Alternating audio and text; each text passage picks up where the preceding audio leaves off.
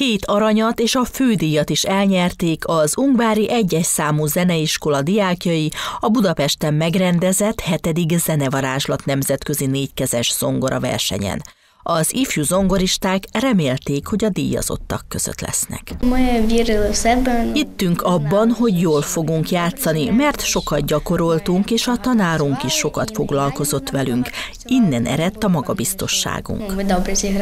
Az Ungvári Zeneiskola már nem első alkalommal vesz részt a zenevarázslat hangversenyén. A meghívást és az utazás szervezéséhez szükséges segítséget a kárpátaljai diákok Várnagy Andreától Liszt Ferenc díjas a magyar zongoraművésztől kapták. A művésznő mesterkurzusokat tartott kárpátaljai gyerekek számára. Gyakori vendég volt Tisza Péter falván. A kollégáink ott ismerkedtek meg vele, és meghívták Ungvárra hogy tartson itt is hasonló mesterképzést. Így ismerkedtünk meg vele, és ettől kezdve rendszeresen meghívott bennünket a nemzetközi zongoraversenyen való részvételre. A gyermekeink, a diákjaink számára az ilyen vetélkedőkön való részvétel mindig kihívást és hosszú előkészületet jelentett. A gyerekek boldogok, és mi is örülünk, hogy mindezt meg tudtuk szervezni, és örömet tudtunk okozni nekik.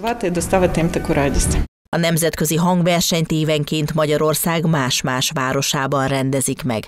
A rendezvény célja a zongorajáték népszerűsítése a fiatalok és a felnőttek körében is.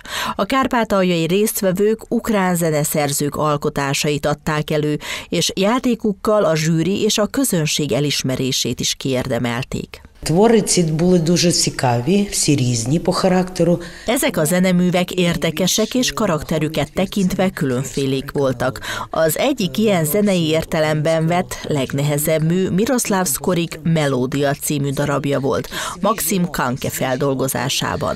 Ezek nagyon friss hangjegyek voltak, és rendkívüli fogadtatásban volt részük a lányoknak. A hasonló versenyeken ritkán szoktak hosszantartó tapsal reagálni egy-egy előadásra, viszont viszont ebben az esetben hosszú taps követte a lányok előadását.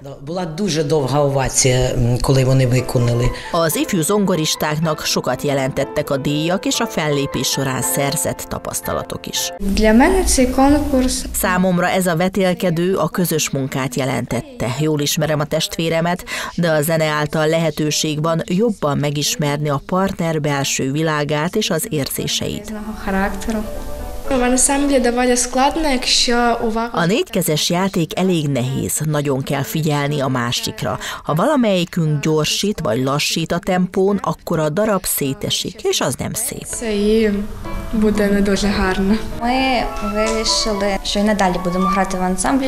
Úgy döntöttünk, hogy továbbra is együtt fogunk játszani, mert megszoktuk egymást, és minél tovább, annál jobban tetszik nekünk a közös játék, és természetesen az ilyen vers versenyeken való győzelem is.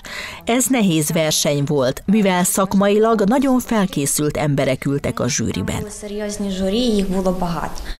як найкраще. Я не вперше на цьому конкурсі була. Nagyon pozitív élményeim vannak a hangversenyről. Már nem első alkalommal vettem részt rajta. Korábban a járvány előtt Kaposváron vettünk részt a zenevarázslat zongora versenyén. Ahhoz az alkalomhoz viszonyítva az idei megmérettetésen sokkal több volt a résztvevő, és több helyről is érkeztek. A gyerekeknek lehetőségük nyílt olyan gyönyörű hangszeren játszani, mint a Stanway zongora, ami már önmagában is nagy öröm volt. A kárpátaljai versenyzők számára a vetélkedő legizgalmasabb részét az jelentette, hogy a világ egyik legdrágább zongoráján adhatták elő kedvenc zeneműveiket.